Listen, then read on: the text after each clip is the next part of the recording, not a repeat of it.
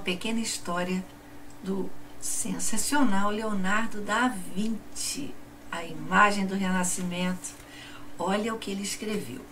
Ele escrevia pequenas histórias também maravilhosas, como esta: O Padre e o Pintor. Estava um padre andando pela sua paróquia no sábado de Aleluia, jogando, lançando água benta pelas casas, até que chegou no quarto de um pintor. E ele lançou a tal água benta em algumas de suas pinturas.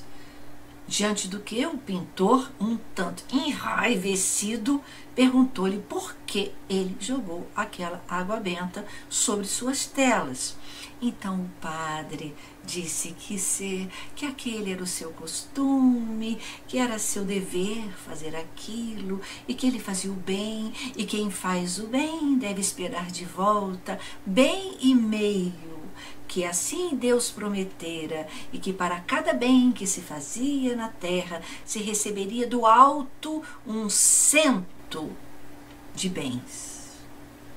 Então o pintor quietinho, esperando que o padre saísse, foi até a janela e de lá lhe atirou um balde de água e disse: Eis que do alto te vem um cento, como disseste que aconteceria com o bem que me fizeste, com a tua água benta, com a qual estragaste as minhas pinturas.